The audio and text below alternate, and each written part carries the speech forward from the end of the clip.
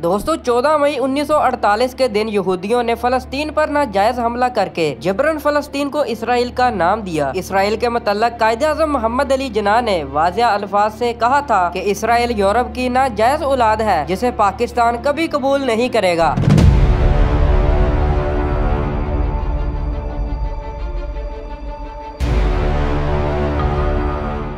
अमरीकी हमायत से फलस्तीन पर इसराइल अपना कदम जमाता गया और हर गुजरते दिन के साथ यहूदी अपनी ताकत को बढ़ाते गए। दोस्तों, आज कई अरब ममालिक भी फलस्तीन को छोड़कर इसराइल को तस्लीम कर चुके हैं। लेकिन पाकिस्तान आज भी इसराइल के खिलाफ ही खड़ा है और पाकिस्तान ने इनको काफ़ी सबक भी चुकाया। फलस्तीन इसराइल जंग के दौरान भी पाकिस्तानियों ने काफ़ी बार इसराइल के कई लड़ाका त्यारे मार गिराए। इसीलिए इसराइल पाकिस्तान का सबसे बड़ा दुश्मन भी है। दोस्तों, इसराइल ने शाम ईरान, इराक तकरीबन हर इस्लामिक ममालिक पर हमले किए। लेकिन क्या आप जानते हैं कि इसराइल पाकिस्तान का शदीद तरीन दुश्मन होने के बावजूद भी पाकिस्तान पर हमला क्यों नहीं करता? इसकी वजह शहीद जनरल जयाल हक के कुछ जुमले हैं, जिनकी गूंज अभी भी इसराइल को सुनाई देती है। जनरल जयाल हक ने कहा था कि हम ना तो इराक हैं और ना ही इराक हमारी आर्मी है। हम ईंट का जवाब पत्थर से देने की सलाहियत रखते हैं। दोस्तों, जब इसराइल ने इराक के एटमी प्लांट को तबाह किया तो उनके हौसले मजीद बढ़ गए और उन्होंने सोचा कि अब हम पाकिस्तान के एटमी प्लांट को भी इसी तरह तबाह कर देंगे। इंडिया के साथ मिलकर इसराइल ने पाकिस्तानी एटमी प्लांट पर हमला करने का प्लान किया। दोस्तों, ये प्लान इंतहाई खुफिया था। पाकिस्तान के पास इसकी खबर पहुँचने ऐसी पहले ही हमारा एटमी प्लांट राख बन सकता था। इसराइली और इंडियन लड़ाका तैयारों को सुबह चार बजे हमला करने के ऑर्डर भी जारी कर दिए गए। प्लान यह था कि इसराइल और भारतीय लड़ाका तैयारे टाइट ग्रुप की शक्ल में पाकिस्तान में दाखिल होंगे, ताकि पाकिस्तानी रिडार सिस्टम को लगे कि ये कोई मुसाफर तैयारा है। लेकिन ये इस बात को नहीं जानते थे कि जिस मुल्क पर ये हमला करने जा रहे हैं, उसके मुहाफिज हर वक्त अपने मुल्क की हिफाजत के लिए तैयार रहते हैं। दोस्तों, कहा जाता है कि जब जनरल जयाउल हक को इस बात की खबर हुई तो सिर्फ़ तीस मिनट के अंदर अंदर दुश्मनी तैयारों से निपटने के साथ साथ इनकी एटमी ताकत को खत्म करने की तैयारी भी कर ली गई बारह बजे जनरल जयाउल हक को इस बात की इतला मिली थी और बारह बज के तीस मिनट पर पाकिस्तानी लड़ाका तैयारे उनके आने का इंतज़ार कर रहे थे। रिडार सिस्टम एक्टिवेट कर दिए गए। इंतहाई मुश्किल वक्त में जयाउल हक ने एक कमाल की प्लानिंग तैयार की थी। जब दुश्मन के लड़ाका त्यारे पाकिस्तान में दाखिल होंगे तो दो महराज और चार एफ़ सिक्सटीन त्यारे इनको मार गिराएँगे और चार मजीद त्यारे उड़ान भरेंगे और दो इंडिया और दूसरे दो इसराइल के एटमी प्लांट पर हमला करेंगे। दोस्तों, भारत और इसराइल की ताकत को तबाह करने का ये प्लान तैयार तो कर लिया गया था, लेकिन जो त्यारे वहाँ पहुँचने थे, उनका वापस ज़िंदा आना बिल्कुल भी नामुमकिन था, क्यूँकी फ्यूल खत्म हो जाने की वजह ऐसी उनका गिरना तय था। इसीलिए ये खुद कुछ हमला कहलाया। इस मिशन पर जाने के लिए चार पायलट्स की ज़रूरत थी, लेकिन हर पायलट अपने मुल्क की हिफाजत करने के लिए जान कुर्बान करने को तैयार था। इसलिए कुरा अंदाजी के ज़रिए चार पायलट सिलेक्ट किए गए। पाकिस्तानी त्यारे इनके आने का इंतज़ार तो कर रहे थे, लेकिन शायद इसराइल और इंडियन पायलट की मौत उस दिन पाकिस्तान के हाथों नहीं लिखी थी। इसकी वजह यह थी की इसराइली और इंडियन त्यारे पहले ही वापस मुड़ चुके थे, क्यूँकी अमेरिका ने पहले ही सैटेलाइट के ज़रिए पाकिस्तान की फजाइया की, नकलो हरकत को देख लिया था। इसलिए अमेरिका ने इसराइल और इंडियन त्यारों को यह इतला दी कि तुम बेवकूफ़ी मत करो और वापस लौट आओ, क्योंकि पाकिस्तान ने तुम्हारी तमाम नकलो हरकत को नोटिस कर लिया है। आगे जाने से तुम तो तबाह हो गए और साथ ही तुम्हारे मुल्क की तमाम ताकतों को पाकिस्तान खत्म कर देगा। उनकी हिम्मत ना हुई की वो पाकिस्तान में दाखिल हो जाए। काफ़ी देर देखने के बाद जब वो तैयारे पाकिस्तान में दाखिल ना हुए तो जनरल जयाउल हक शहीद समझ गए की इन्हें हमारी तैयारी के मुतालिक पता चल चुका है। जिसके बाद शहीद जनरल जयाउल हक ने इंडियन आर्मी और इसराइल आर्मी को मुखातब करते हुए कहा कि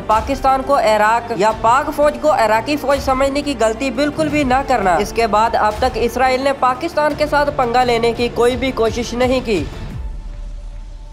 दोस्तों, उम्मीद करता हूँ कि हमारी आज की वीडियो आपको पसंद आई होगी। वीडियो को लाइक कर दे और चैनल को सब्सक्राइब करना ना भूलिएगा। ऐसी मजीद इंटरेस्टिंग वीडियोस देखने के लिए मिलते हैं नेक्स्ट वीडियो में। अल्लाह हाफिज।